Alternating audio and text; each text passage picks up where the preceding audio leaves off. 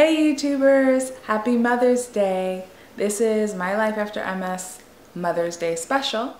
I'm going to talk about what I thought I knew but had no idea, my advice to new moms, and a special treat, my baby's first week milestone. And it's kind of cool. So stick around and you'll see. Okay, so the first thing I thought that I knew but had no idea was that I would be able to go to work within four weeks, no problem.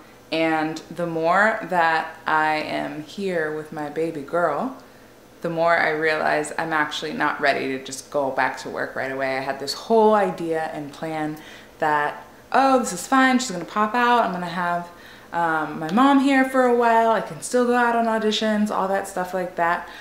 But the thing is, you are essentially still caring for a fetus outside of your womb.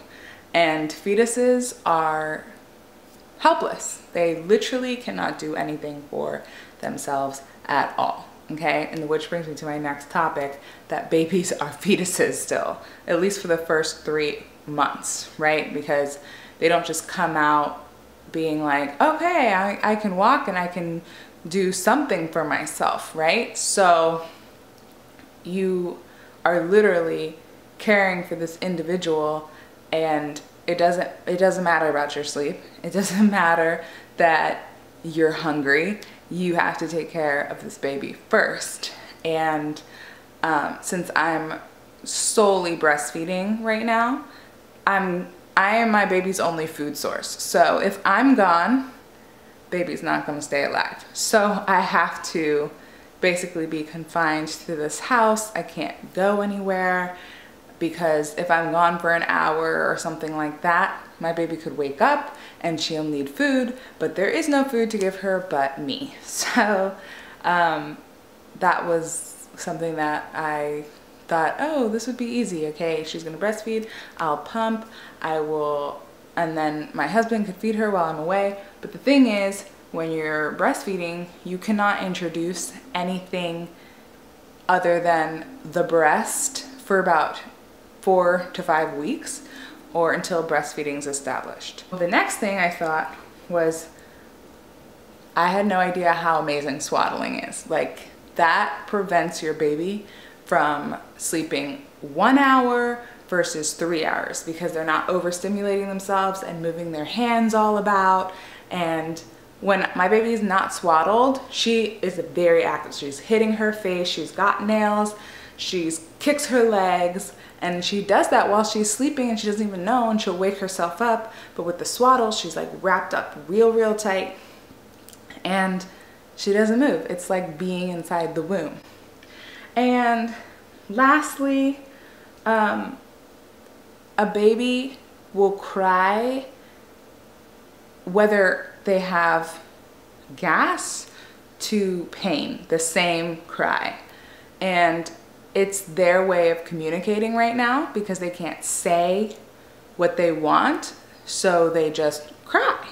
And for people who have a problem with crying because it's a very, very jarring sound, it, it catches your attention, you are nervous or scared and you're like, what am I doing wrong?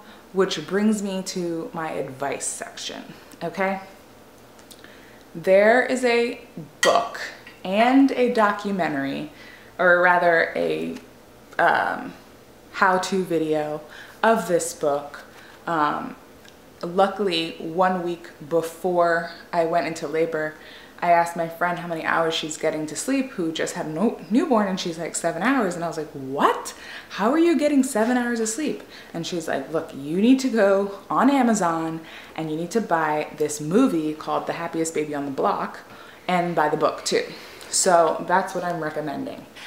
This is my life savior. Oh my goodness. I can't tell you how much I love this book. It is so vital. I've watched the movie like three times already. Um, so that's, that's my number one advice. Second advice is accept help. Don't be an idiot and think that you can do it by yourself because quite frankly, it really is true that it takes a village for you to raise a kid because there's no way in hell that I would be able to swaddle or change a diaper or anything like that with a C-section. It's been a week and I'm still very, very sore. I still can't bend down and apparently I won't fully heal until about six weeks. My advice on the whole body issue is don't weigh yourself. I haven't weighed myself. Don't weigh yourself. But I'm telling you, I definitely lost some weight. I know that. And that's a really good indicator. In fact, here's a picture of me one week after giving birth. And this is a picture of me at 37 weeks and I gave birth on 38 weeks. And this is me one week after birth, okay? So as you can tell, I've gone down a lot. Um, breastfeeding has been helping and um, it's it's okay. Like it's okay. You're it's gonna go down and I'm gonna send an update picture for next week on what my body looks like after two weeks. Oh yeah, and you know what else I didn't know that I thought I knew? You're actually still pregnant after you give birth. You contract still and you're thinking, you're thinking, wait, wait, wait, wait, wait.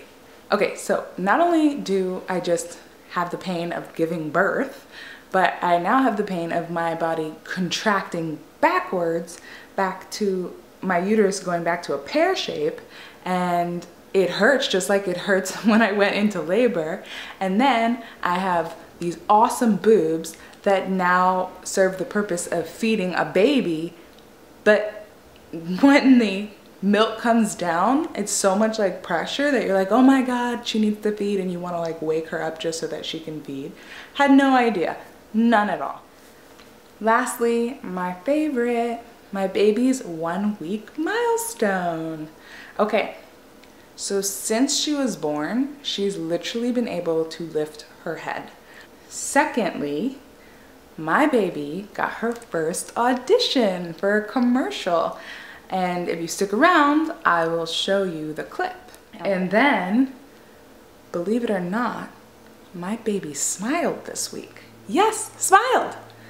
I, I mean, it was incredible. I don't know that it was conscious. It looked conscious. She said it at the right time. I mean, my mother-in-law was like, oh, you're so beautiful. And then bing, and she smiled. And then I actually caught a picture of her smiling to prove to people that she smiled.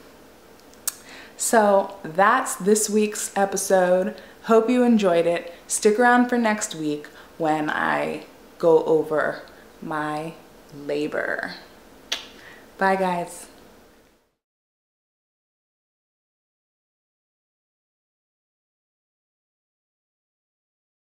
Hey little girl, hey little girl, hey little Ella, hi little Ella. Hey.